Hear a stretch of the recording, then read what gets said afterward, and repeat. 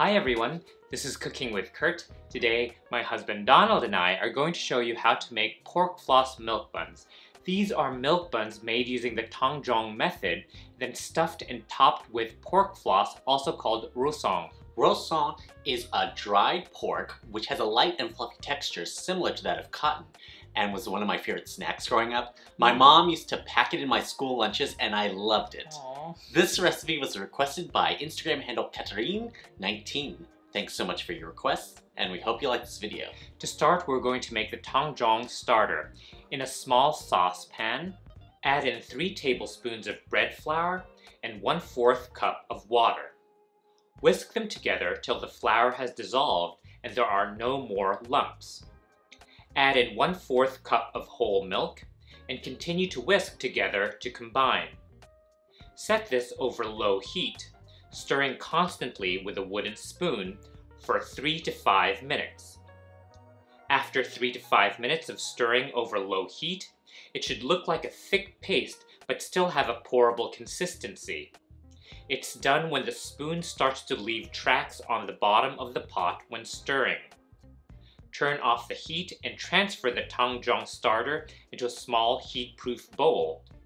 Cover with plastic wrap, touching the Tangzhong to prevent a skin from forming, and let it come to room temperature. The starter will continue to firm up as it cools.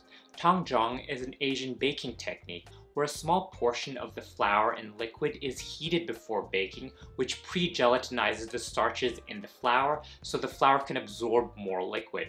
This makes the resulting bread softer and more moist, and it will stay fresh at room temperature for a longer period. And who doesn't prefer softer, moister, and longer lasting bread? I know I do. Tangzhong spokesperson over here. That's right. While the Tangzhong starter is cooling, we're gonna work on the remaining dough. Take one large egg and four tablespoons of unsalted butter and leave them on the counter to come to room temperature. Cut the butter into four pieces. In a microwavable bowl, microwave half a cup of whole milk till it is scalding, about one and a half minutes in the microwave to a minimum of 180 degrees Fahrenheit. This deactivates the whey protein in the milk, which may hinder gluten development. While it's hot, whisk 1 tablespoon of granulated sugar into the milk. Let the milk cool down by whisking it constantly till it reaches 105 to 115 degrees Fahrenheit. When the milk is 105 to 115 degrees Fahrenheit, whisk in one envelope, which is 1 4th ounce or 2 and 1 4th teaspoon of active dry yeast till it gets dissolved and let it proof for about 10 minutes. After 10 minutes of proofing, it should start to look foamy on top. If it doesn't get foamy, it means you've got bad yeast. Bad yeast, you're drunk. Go to bed. Get out of here, bad yeast. And start again with new yeast. In the bowl of your stand mixer, add in two and a half cups of bread flour, two tablespoons of non-fat powdered milk, three tablespoons of granulated sugar, and 1 teaspoon salt. Using the regular beater attachment, mix this on medium-low speed to combine the dry ingredients. Stop the mixer and add in the one large room temperature egg, the yeast milk mixture, and the Tangzhong starter mixture. Mix this together on low speed just until the ingredients are combined. With a spatula, Scrape the batter from the sides of the bowl and off of the beater. Remove the beater attachment and cover loosely with plastic wrap. Let the mixture rest for 5 minutes. This will allow the flour to soak up the liquid. Then attach the dough hook attachment and knead on low speed about level 3 for 5 minutes. After 5 minutes of kneading on low speed, Add in the pieces of room temperature unsalted butter, 4 tablespoons total, one piece at a time, waiting for the butter to get incorporated before adding in the next piece. About 30 seconds to 1 minute between each addition of butter.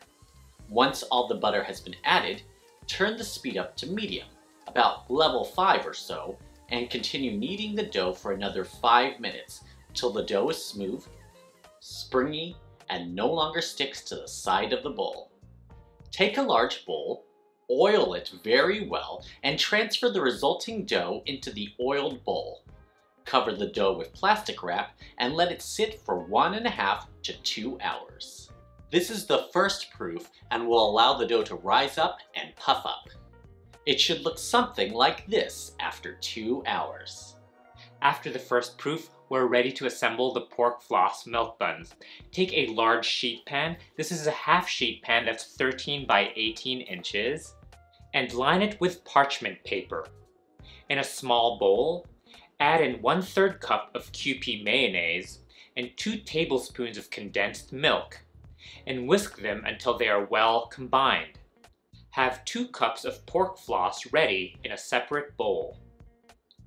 Punch down the dough and turn it onto a smooth, clean surface. Roll it into a long tube and divide it into 10 approximately equal pieces, estimating by eye and weight in your hands.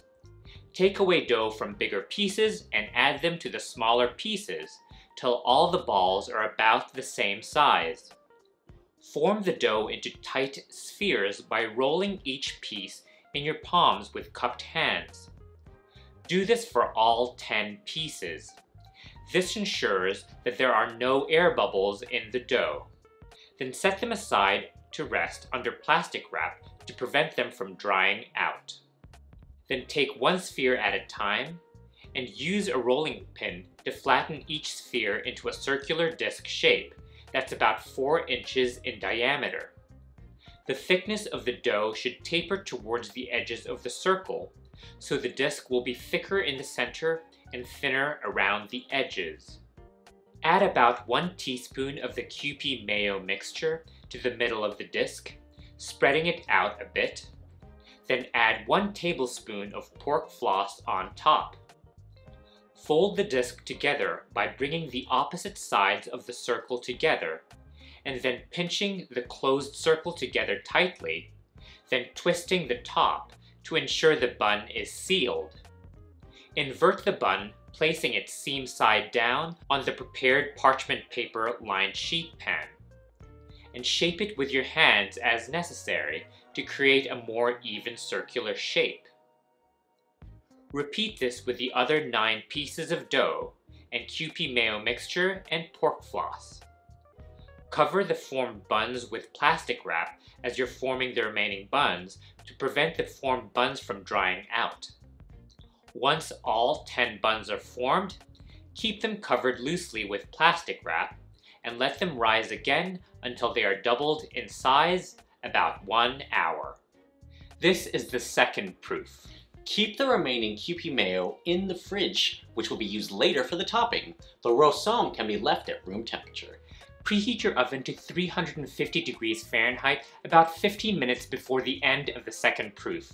When you're ready to bake the buns, take a small bowl, add in one egg and one tablespoon of water, and whisk them together till they are well combined to make an egg wash. Brush the top of the risen buns with this egg wash. This will create a nice golden brown finish after baking. Bake in the preheated oven at 350 degrees Fahrenheit for 15 to 17 minutes, or until the tops are golden brown. If you have a thermometer, buns are done when they read 185 to 190 degrees Fahrenheit in the middle of each bun. Try not to let it bake past 200 degrees Fahrenheit. When the inside goes past 200 degrees Fahrenheit, the buns will start becoming a little dry.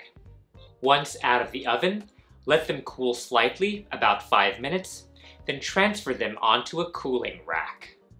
Pork floss buns, pork floss buns, one a penny, two a penny, pork floss buns. Is that an original song? Yes, it is. when the buns have cooled completely, after cooling on the rack for an additional 30 minutes or so, only dress the buns you're planning to serve immediately. Brush the top of each bun with a light layer of the prepared Kewpie mayo mixture. Invert and press the top of the bun, the part covered with Kewpie mayo mixture, into the bowl of pork floss to get a light layer of pork floss on top. Repeat this with all the buns you are serving immediately. Store the remaining undressed buns in an airtight container. They will keep at room temperature for 3 to 5 days. Store the remaining Kewpie mayo mixture in the fridge and commercially bought pork floss does not need to be refrigerated, just store it in an airtight container. And there it is. Pork floss milk buns using the Tangzhong method. Ang sarap! Mmm. So good, yum.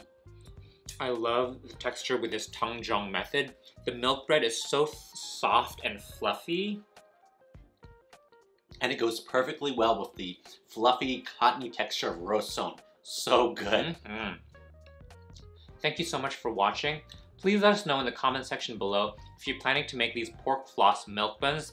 Send us pictures of your creations on Facebook and Instagram. The links are below. And if you like this video, don't forget to give us a thumbs up and subscribe to Cooking with Kurt. And don't forget to click on the bell so you get notified when we post new cooking videos. And for our written recipes, be sure to check out cookingwithkurt.com. Maraming salamat!